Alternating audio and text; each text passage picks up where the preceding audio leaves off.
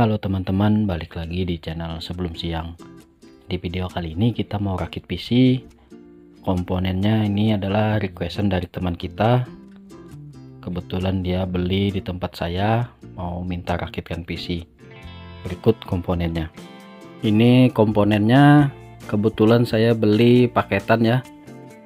Mobo H81 dari Penomer X yang sudah support NVMe dan ada HDMI dan juga USB 3 nya ada dua. USB 3 yang buat di front panelnya ada juga sudah support. Sudah support NVMe HDMI untuk RAM nya saya dapat yang 16 GB tapi saya ganti dengan yang ini ya supaya menyesuaikan dengan warna putihnya aja.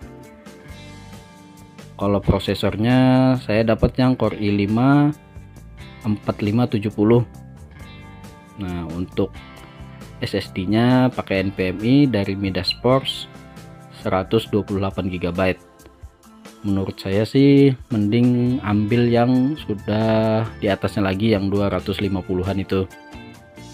Supaya nyaman lah untuk nambah-nambah aplikasi apa pun lagi ya kan? Lanjut harddisk penyimpanan harddisk untuk game-gamenya kita pakai seperti biasa yang 500 GB aja. Kalau bisa sih yang satu tera ya lebih bagus.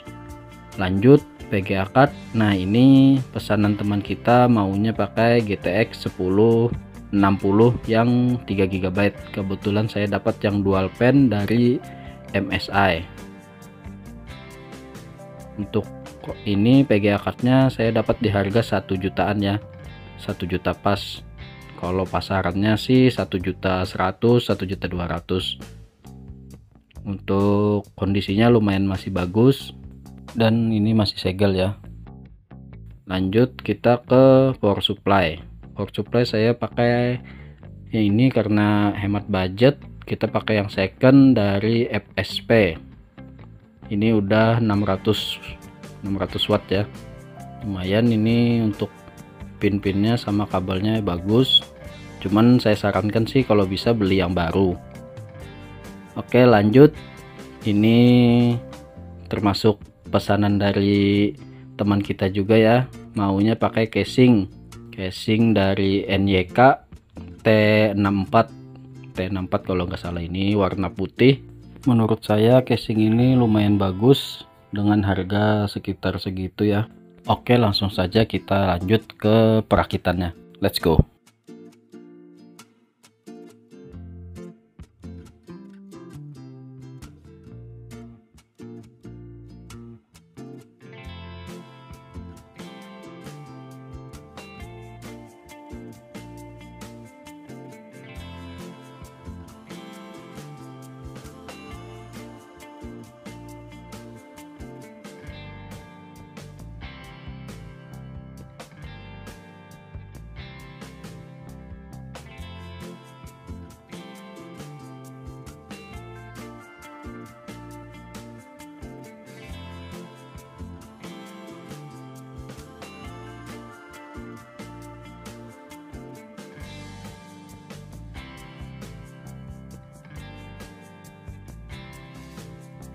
inilah hasil rakitannya.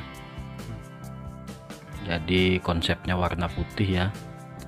Untuk total rakitannya di harga 2.300an kita benchmark di CPU jet ya.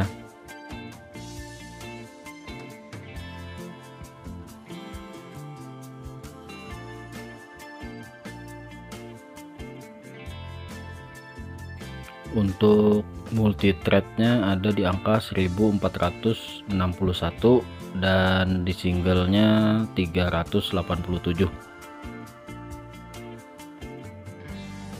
per precision benchmark mendapatkan hasil 8323 di settingan 1080 medium. GTA 5 roleplay settingan 1080p high ini servernya di eksekutif roleplay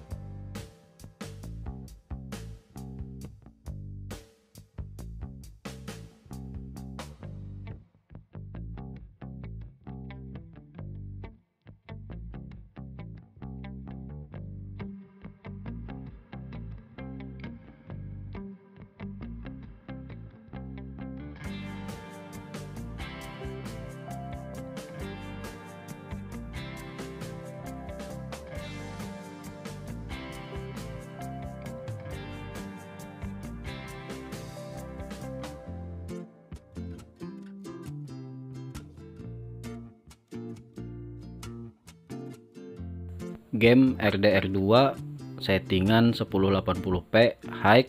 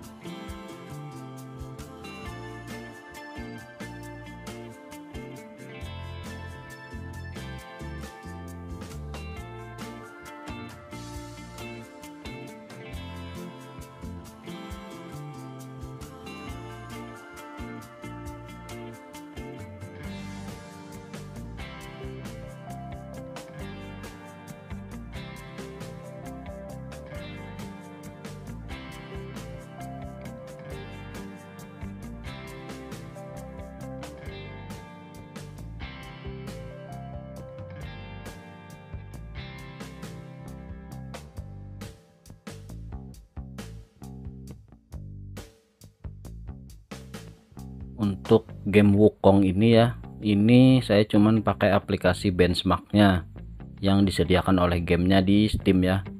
Settingannya 1080p uh, low. Jadi ini belum tentu hasilnya bakalan sama dengan yang ada di dalam game. Soalnya saya nggak punya game Wukongnya dan belum ada uang untuk belinya ya jadi kita tes di aplikasi benchmark tool yang disediakan aja